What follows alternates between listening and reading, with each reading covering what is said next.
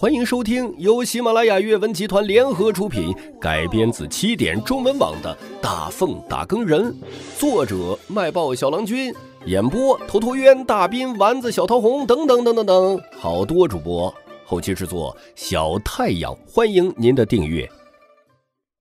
第五百零一集，李妙真入京。一人一鬼主仆俩拨开草丛，搜寻一阵。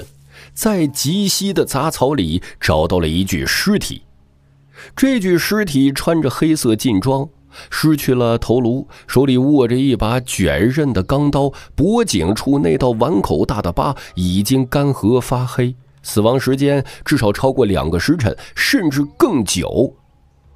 肯定是死于江湖仇杀，怨气还不轻呢。咱们把他给埋了吧，免得他曝尸荒野，七日后化为怨灵。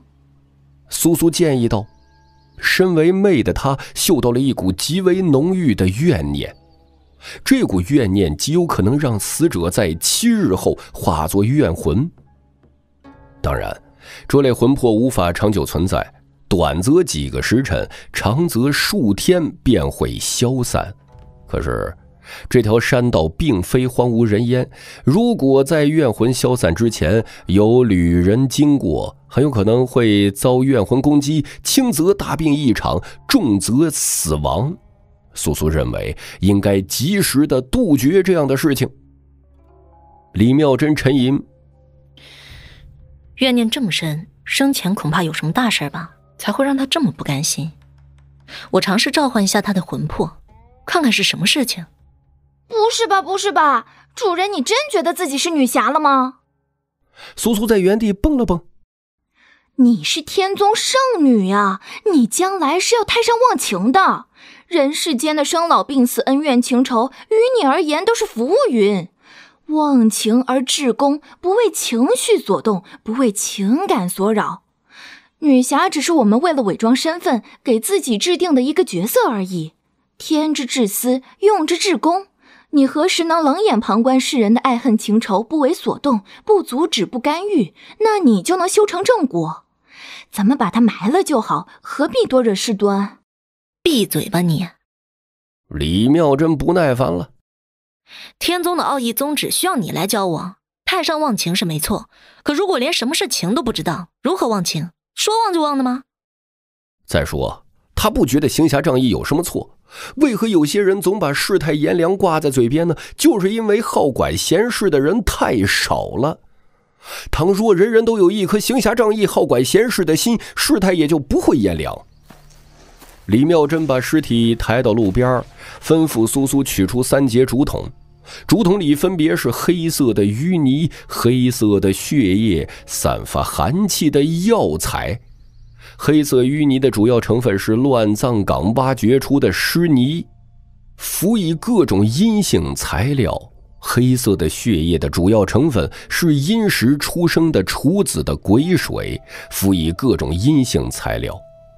散发寒气的药材，则是一些生长在极阴之地里的药材。这具尸体死亡时间过久，无法直接召唤魂魄，而且又是暴尸荒野的状态。强行召唤魂魄会当场消散在太阳之力中。苏苏熟练地用三种材料调配墨水并取出了一杆指骨为深的毛笔，蘸墨递给了李妙珍。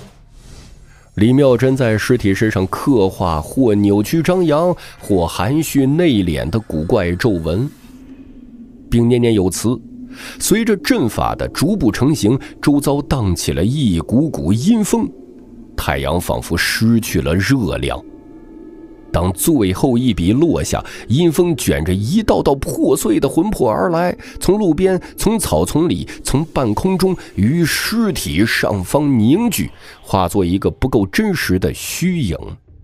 那是一个精瘦的汉子，目光呆滞，呆呆的漂浮在尸体上方。李妙真眉头微皱，道门是玩鬼的行家。只看一眼，他便确认这个鬼魂受损严重，死前有被人针对性的攻击魂魄，但对方应该是个武夫，能力有限，无法彻底的湮灭魂魄。李妙珍问道：“你是谁？”同时抬指渡送出一缕阴气，滋养魂魄。鬼魂受到阴气的滋补，呆滞的表情有所变化。血屠三千里，血屠三千里，请朝廷派兵讨伐，请朝廷派兵讨伐。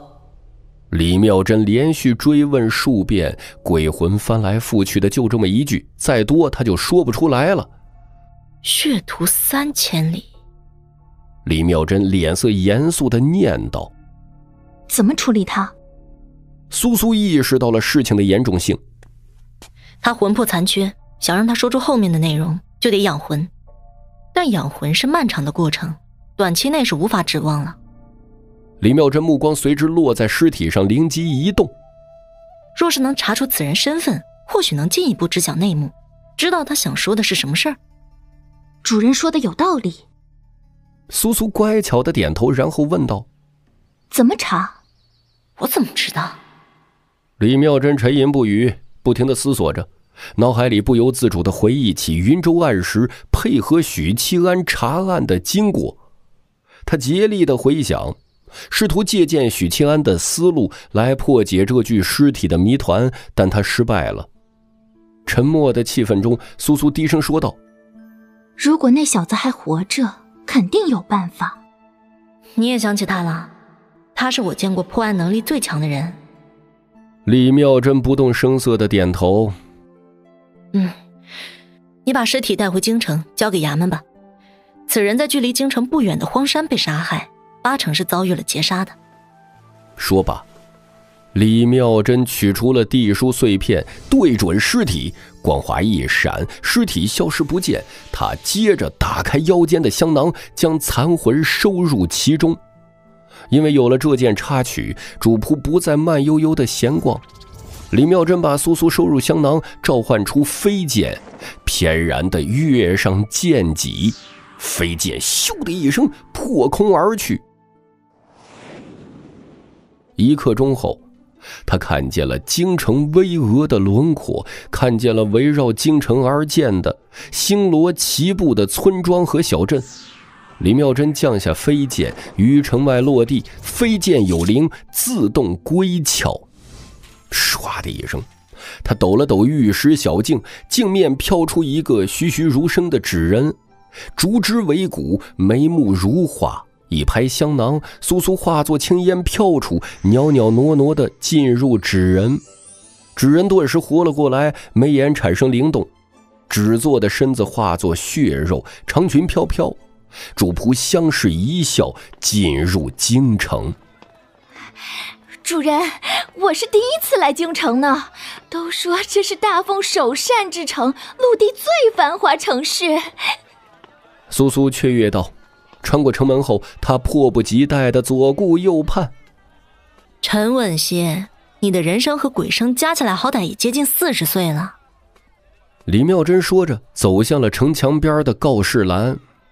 每到一处城市，他就会本能的去看告示栏，上面会有官府张贴的告示，包括朝廷政令、通缉檄文等。主人，您老毛病又犯了。京城高手如云，即使有脚纹，也轮不到你来替天行道。苏苏撑着红伞遮挡太阳。这时，他看见李妙珍身子骤然一僵，眼睛慢慢睁大，盯着墙上的某篇告示，露出了难以置信的神色。他极少这般失态，看到了什么呢？苏苏出于好奇，走过去与李妙珍并肩看向了席文。下一刻，他瞪大了杏眼，红润的小嘴儿微张，像是见了鬼一样。哎，这个比喻不恰当，像是见到了替天行道的道人。不知是过于震惊还是激动，撑着红伞的手微微的发抖。本集已经播讲完毕，感谢您的收听。更多精彩内容，请在喜马拉雅搜索“头陀渊”。讲故事，谢谢。